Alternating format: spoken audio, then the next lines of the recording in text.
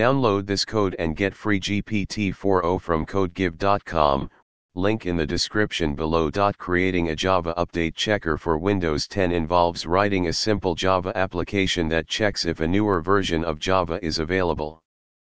The application can be implemented using Java's built-in networking libraries to query the official Java version site or a specific API, parse the response, and then compare it with the installed version.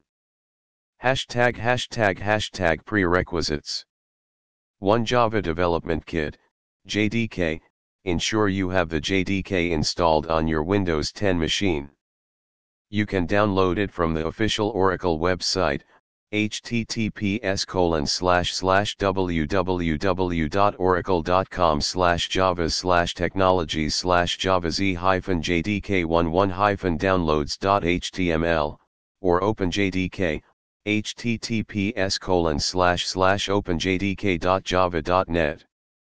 2 IDE, use any Java IDE, like IntelliJ IDEA, Eclipse, or even a simple text editor, to write your code.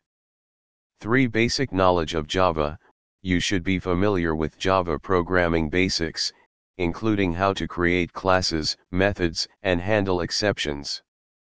Hashtag hashtag hashtag step by step tutorial. Hashtag hashtag hashtag hashtag step 1, check install Java version. You can determine the install Java version programmatically using the system.get property method. Hashtag hashtag hashtag hashtag step 2, fetch latest Java version. You can fetch the latest version from a reliable source. For the sake of simplicity, let's assume we're scraping a web page or using an API that returns the latest version. For this example, we'll use a static string to represent the latest version. However, in a real application, you would fetch this from an official source. Example of a method to simulate fetching the latest version. Hashtag hashtag hashtag hashtag step 3, compare versions. Now, you need to compare the installed version with the latest version.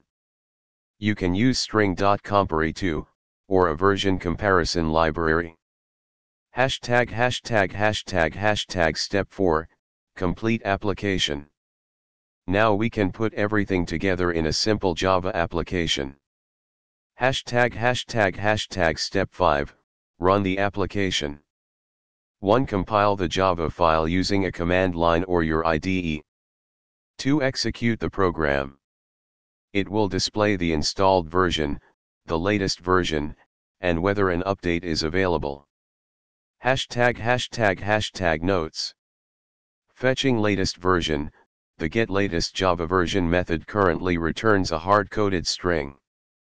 In a production application, you would need to implement HTTP requests to an API or scrape a web page to get the latest version dynamically. You can use libraries like HTTP URL connection or third-party libraries like Apache HTTP client or OKHTTP for this purpose. Error handling, for production code, ensure to handle exceptions that may arise from network calls or parsing responses. User interface, for a better user experience, consider creating a graphical user interface, GUI, using Java Swing or JavaFX. Hashtag hashtag hashtag conclusion. This tutorial provides a simple way to check for Java updates on a Windows 10 machine using Java. You can expand upon this by implementing actual network calls to fetch the latest version and improve error handling.